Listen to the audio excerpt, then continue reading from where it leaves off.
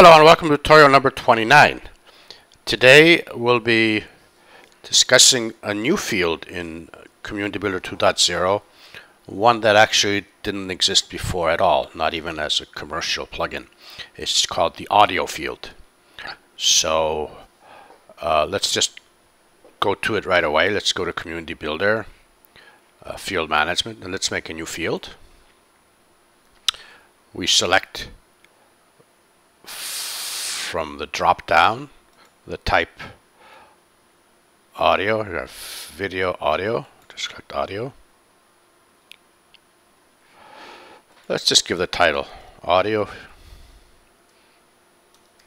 Same thing here.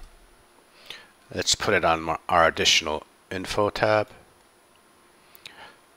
Take it out of registration. No reason to show it. And let's just save it initially here. now let's just explore the parameters for a second here. Layout the same. There's display.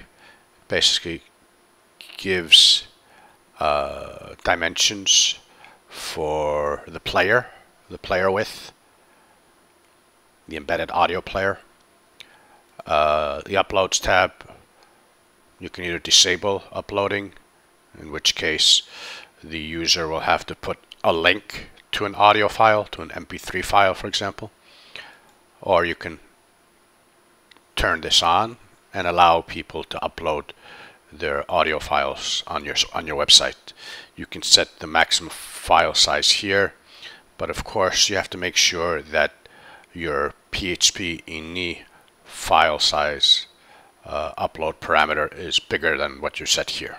Otherwise, uh, the smaller one will take effect.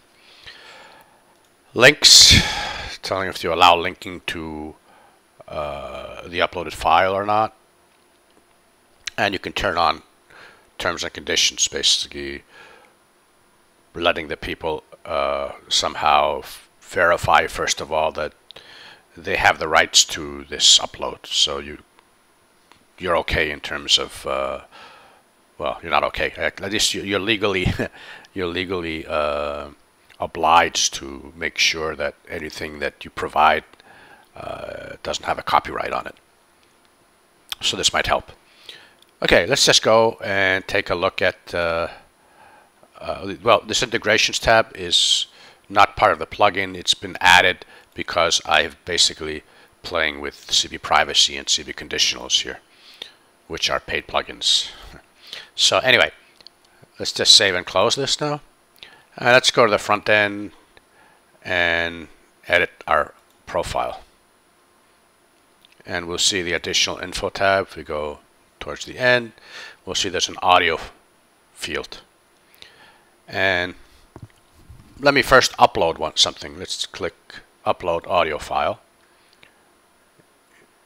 And I actually have an audio file here that's less than 1 mega, it's 750k, so let's just go ahead and upload this. Update. And if I look in my additional info tab, scroll, I see this audio embedded. And I can just play the music here. And I can set the sound and so on. Great. Instead of, oh, let's just take a look what happened. Where is this uploaded? So let me just drag over here. My CB tutorial site. It's under images, comprofiler. There's an audio folder and under that there's a folder with the user ID and in that folder are all the files this user ID has uploaded. Okay, just so you know what happens. Now, let me just edit here.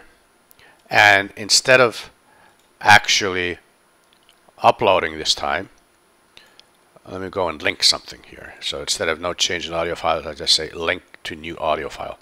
Now it asks me here to paste a link. There are a number of websites uh, that have MP3 files that you can link to. Here's one just for my testing.